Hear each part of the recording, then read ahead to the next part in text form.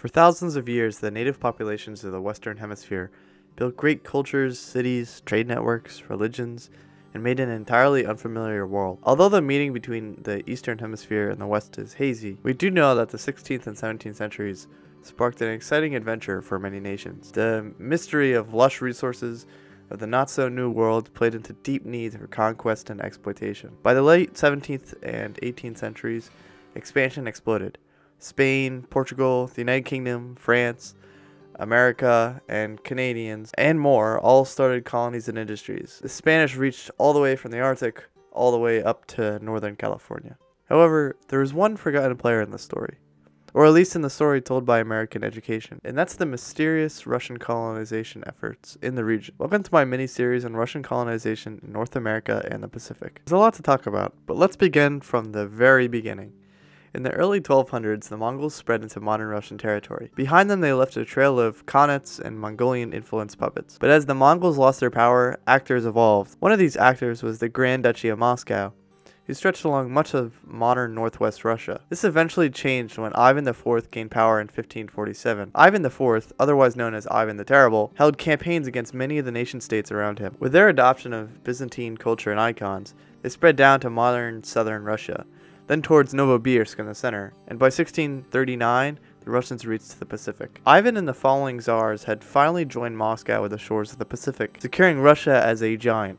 But like any nation, this land was not enough. As a side note, when I say Russia in the series, it is referring to all forms of Russia. Russia had the Tsardom of Moscow, the Tsardom of Russia, the Grand Duchy of Moscow, the Russian Empire, and so on. So just know that there was many different governments, leaders, etc. involved in the politics behind the colonial efforts and I'll make quick mentions of what was happening back in Moscow and Europe, but I'm going to focus on just the life and expeditions along the Russian colonies in the Pacific and North America. Moving forward some time, Peter the Great in 1725 hired Danish explorer Vitus Bering, who was contracted to see whether Russia's eastern coast was directly connected with North America. He sailed around the North Kamchatka Peninsula and almost starved with his crew of 34. Eventually, he made it around the peninsula, confirming there was indeed no connection between Russia and North America. Now it was a race to see who could find America first. Nobody in all of Europe can answer how far this distance would be. Things remained quiet for the next 10 years. Many explorers tried their lucks in exploring for America. The mystery grew ever larger, until the vessel Savetoy Gurville in 1732, navigated by Ivan Fedorov and a few other explorers of the region, saw the modern-day Cape Prince of Wales. They mapped the area and the coast and returned back, never setting foot on the ground in North America. Unfortunately, Fedorov came so close to being the first person to travel from Russia to the Americas. That title surprisingly goes to the Dane Vitus Bering in 1741. In 1741, Bering and Captain Chikharov landed on ground, this being their second voyage, also called the Kamchatka Expedition, and it was planned explicitly towards North America. There was a lot of politics in who was chosen, um, but a crew of 600 was set to colonize the coast. Many like Anna Ivanovna were selected for their prestige, and foreigners from Ireland, France, Germany, and many other different backgrounds were chosen for their abilities in creating colonies. This venture for North America was quite intense. A few ships were made for the expedition, and a few ships wrecked and had to return back to port. There was even a few sailors killed by Russian natives. Anyways, information on the expedition is rather hazy, and is seemingly unreliable, so keep that in mind. Many of these stories were changed and covered by the Russian government, as dozens died, including Bering. To make a long story short, many boats crashed along the Aleutian Islands, and the explorers even landed on Mount. Elias, the second largest mountain in North America. They seemingly were very confused. In many cases, they thought they had landed on the Aleutian Islands, and in reality, they landed up in the now southern border between Alaska and Canada, far from home. Eventually, 46 remaining colonists made a ship out of the wreckage and returned home. After this hiccup, this confirmed information that North America was close by and drove many Russians to seek fur trapping in a region already known to be rich in furs, as expressed by French and British trappers. Many of these trappers, known as Promyshlenniki, made private colonies along the Aleutian Islands in Alaska. They made trading posts and hunting grounds.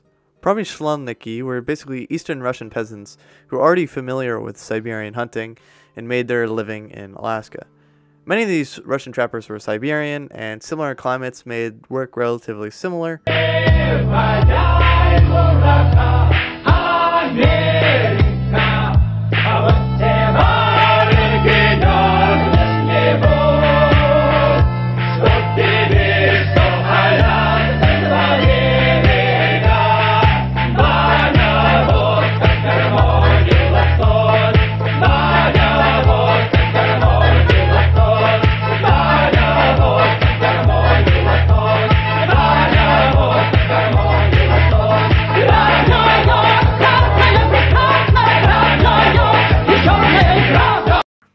However, there was one looming issue labor. The Russians found the Aleuts, the native population of the Aleutian Islands and parts of Alaska, and these people were also fishermen and trappers. But the Russians needed more grain. Quickly it became apparent that these natives did not know the crop methods of Russia. Either way, the Aleuts with words of riches in Alaska were enslaved. Many Russians took Aleut families as hostage until the men gave them furs or other resources. Luckily, Catherine the Great stated that the Aleut people should be treated as equals. Although Catherine was in charge of an exploitative government, this news is rather nice. In this time, around 1763, many natives and Russians learned to live together. But of course, some natives were still treated very poorly. It was also during this era that many Russian Orthodox missionaries came over, and many Aleuts were made the godchildren of Russians, and many natives still practice Russian Orthodox in the region today a tribute to this legacy of this weird, interesting connection. Over time, even more expeditions continued both sponsored by the government and from out of pocket. The colony was not exactly profitable. The cost of sending furs back was not worth what the hunters were putting in. Either way, this did not stop much. Many companies went to the newly founded area of Russian America. However, the animals were being killed faster than they could repopulate, and soon the Aleuts were developing more and more problems in supplying the Russians. Eventually, a Russian fur monopoly developed, known as the Shelenikov Golikov Company and it quickly swallowed the region, attacking natives for supplies and bullying their way towards success. Many natives, some 80%, also died of disease, and even Catherine recognized the company as the only company for the region, although she did deny them full control over the colony. This company developed into the Russian American Company, which practically had total control over the colonial efforts in the region. The leader, Shelikov, attacked Kodiak Island with two ships, killing hundreds of natives and enslaving the rest. There was already a Russian colony on the island, a center for trade in the region, Unalaska. But either way, he turned the Three Saints Bay into a new hub of trade. This information is hazy, but either way, Three Saints Bay became a new foothold in the region and showed the dominance of the Russian American company towards natives. This city no longer exists, but remains a National Historic Landmark in the United States. Eventually, the trade hub would evolve into its permanent residence of Kodiak. This was managed by a friend of Shelikov, Alexander Baranov. This residence remained and still remains an essential port for Alaskan trade. Many Russians took native wives and continued the killing and integrating of the local populace.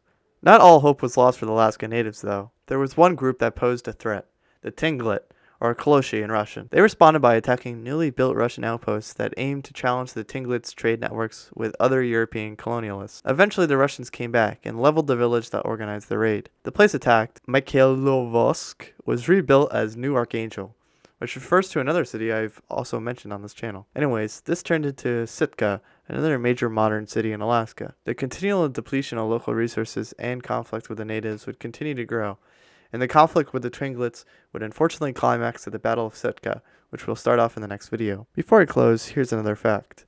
The Spanish also entered Alaska. From the 1770s all the way to the 1800s, Spain took their shot at fur trapping and colonizing here. But most of these plans for Spain that reached from Argentina to Alaska were stopped by the Nootka crisis, which deserves a whole video on its own, but was basically a conflict between Britain sailing ships in Spanish Alaskan waters, and the French and Spanish expected to fight the British and Dutch for the territory. But they eventually talked it out. Even the Americans were involved. The entire Spanish conflict on the west coast caused Spain to be outcast by the world. They basically violated the rule that you need a settlement to claim territory weird stuff and there's a lot more politics to it, but hope you enjoy this information and the video itself. I know this video is not about war or something like action based, but I still hope you enjoyed because I think this is really interesting stuff and it's barely even covered on YouTube. So maybe in a few years somebody will look up why did Russia own Alaska. Um, so make sure you join the Discord and expect more content, maybe similar content, maybe different content very, very soon. Thank you for watching.